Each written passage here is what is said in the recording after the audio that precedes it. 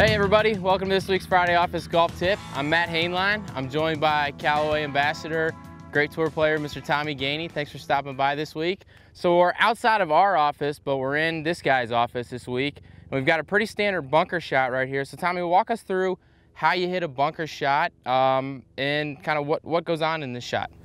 Well, you know, you as you can see, the sand is pretty soft. And uh, that's the first thing you look at when you get in the bunker just looking at how it lies.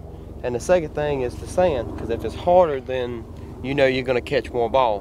But since the sand is soft, then the way I play the bunker shot is I hit two inches behind the ball and let the sand throw the ball out, not the club. So, and that's what I'm gonna do right now. Cool, so show us what it looks like.